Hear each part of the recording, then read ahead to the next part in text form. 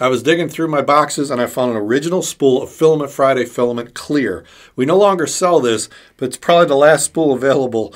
But I wanted to see how well it printed, so I printed some clear objects, this Christmas tree, and I built some electronics to go with it. It's a bunch of LEDs flashing, although you can't see it in the bright lights. I'll explain it all on today's Filament Friday.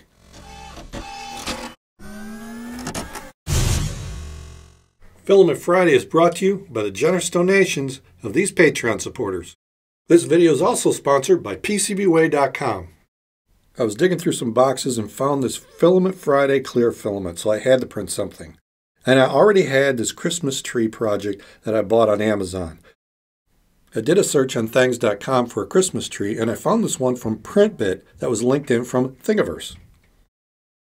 I brought the solid version into Cura, and I decided to use my version 5.1 extra fast 0.28, but I made a custom Christmas tree version with one wall and three top layers and zero bottom layers.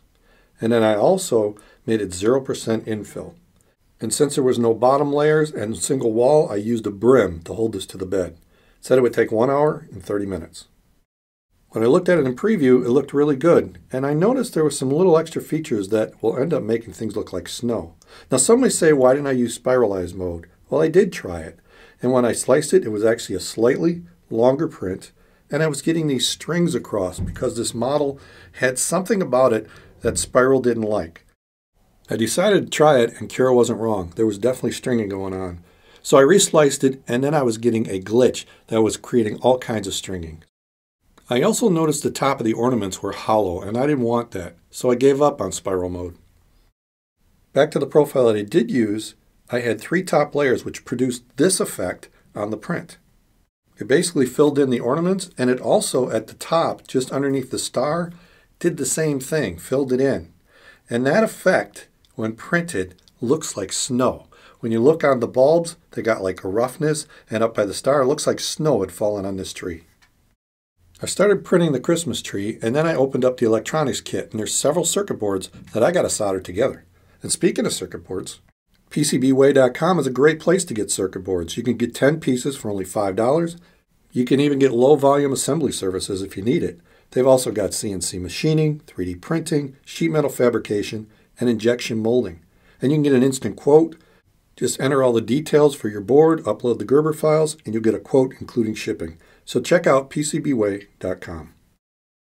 The resistors in this kit came with the five color band method, but you know what? I find it easier just to measure them and then mark the paper what value they are. It makes it easier to assemble. Some resistor values were marked on the boards, but others were not, so I had to refer to the user manual. The user manual is really small print, so I took a picture of it with my phone and zoomed in so I could actually read it. I inserted each resistor one by one, bent the leads so they'd stay in place, and marking those resistors made it so much easier. I soldered them all in place and then clipped off the excess leads. The transistors were next. There's three holes you got to get in, and here's a little trick. Cut them on an angle. That way you can insert one, pull it over, insert the middle one, pull it over further, and get the third one. It's a lot easier. I soldered all the transistors, cut the leads, and bent them over as the instructions showed. Capacitors at the bottom were next. Make sure the long lead goes into the positive hole. Solder those up, clip them, and this board's done. You just have to do it again. Checked on a 3D print and it was coming along really good. I got both boards done, now it's time to install the LEDs. Now the manual shows different color LEDs, but what's included are a bunch of clear LEDs. So I got a little coin cell and tested them, and they all were like this, multi-color changing LEDs with a chip inside.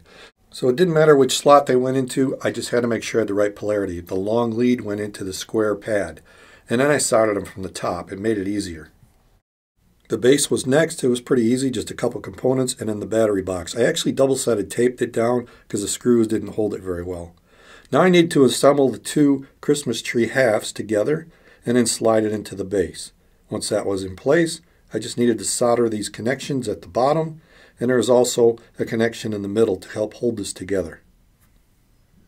The 3D print was coming along, but I wanted to finish the electronics before it finished, so the race was on, and I beat it. Installed three AA batteries, hit the switch, and it worked the first time. The 3D print finished, and now I can bring these two together. I lit up the Christmas tree, dropped the 3D print on top, And this thing looks really good. It's even better in the dark. So I love the way this turned out. That was fun, and it works with any clear filament or any transparent filament that allows the LEDs to shine through. I'll put a link to the .3mf file for the settings that I use so you can download it and recreate this project. This will probably be the last video for 2022. I'll see you in 2023. Thank you to all the sponsors, Patreon supporters, and all my subscribers. Thanks for watching. Happy holidays.